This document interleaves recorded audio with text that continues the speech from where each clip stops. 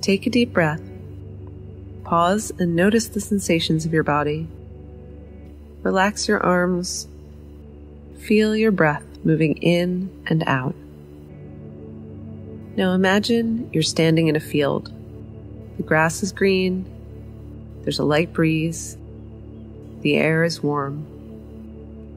With each breath in, imagine you are getting lighter and lighter. With a little help from the breeze, you begin to float upwards. As you rise higher and fly around, you see something down below through the clouds. As you get closer, the air gets smoggier and you realize it's a vast metropolis. It's surrounded by high concrete walls, completely contained. Inside, it's bustling, lots of honking traffic, people everywhere. The sound is deafening. You see people arguing in bars and chatting on street corners. Billboards and advertisements are everywhere, touting every kind of good and service. It's noisy and dense and overwhelming. This is Facebook. You float back up, flying out of the city smog and into clear air. As you fly, you encounter a sprawling suburbia. It has walls and hedges too, but they're shinier and newer. The residents are still bustling and chatting, but there's less noise. The streets and houses are picture perfect. The people pay a lot of attention to how they dress. But all the houses are boxy and identical, and they're all on identical streets in a perfect grid. When you look closer at some of the houses, you realize they're actually just billboards made to look like someone lives there. This is Instagram.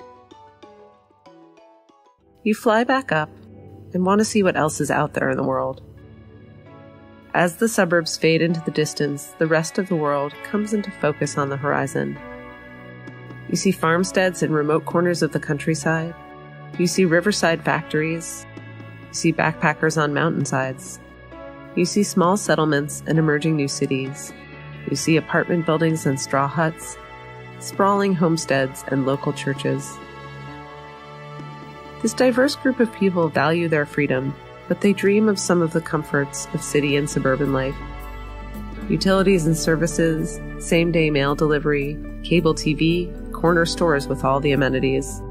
They want ways to make their houses bigger and stronger tools to make their business more valuable for customers, and roads to connect them to other people.